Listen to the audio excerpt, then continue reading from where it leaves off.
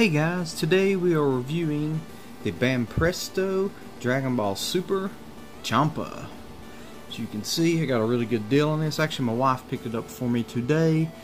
This particular statue retails at $29.99 and she found it for me. It was marked down once to 20 and when she found it, it was marked down to 10 so first up we're going to look at the box. You can see the front shows Lord Champa and I guess that is Universe 6's version of the same planet that and Beerus stay on. Take a look at the side. Little dented up, but I open my statues anyway, so it's okay. You got the other side. The back. We got the bottom. It's got all the info in Japanese, of course. And the top.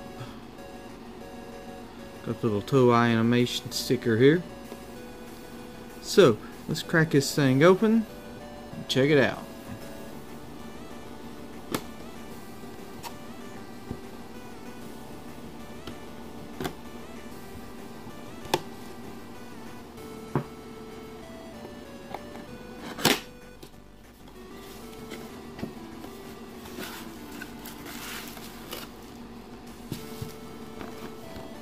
There we have it in little baggies.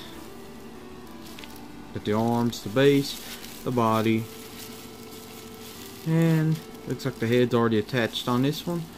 So let's get this thing put together, guys.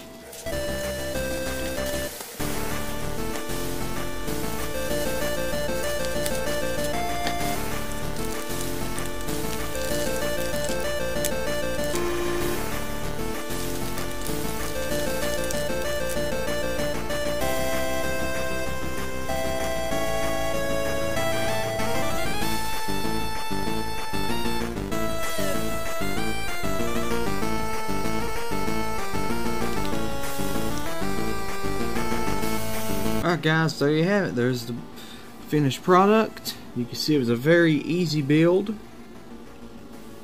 Lord Champa of Universe 6.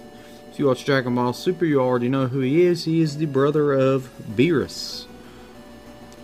Take a quick look around on this guy. I thought it was his arms in that bag, but it was actually just his left arm with the pointing finger getting ready to do destruction energy and his tail. The other arm is already assembled on it as is the head. Most of the time these statues you have to put the head on, but it's okay. He didn't have much to put onto him.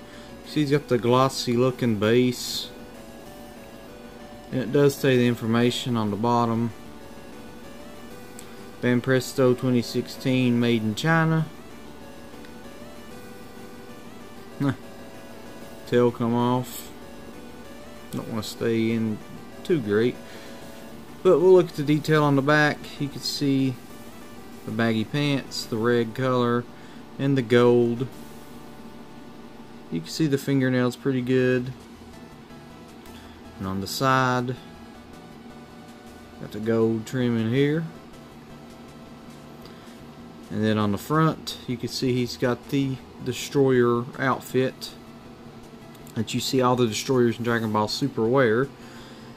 And with the face, you can see the gold again here for his ear.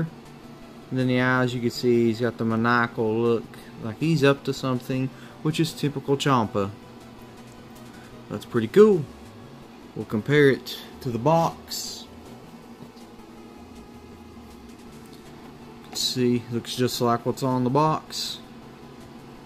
These are usually pretty accurate what it shows. There's no really big variance in coloration and stuff on these guys. So, what do you guys think? Is this something you'd like to have to your collection? Fellow Dragon Ball fans, and non-Dragon Ball fans for that matter, love to have some input all around. Universe 6 is Lord Champa, the God of Destruction. Pretty cool addition. That's going to be it for this review, guys. Until next time, I bid you farewell.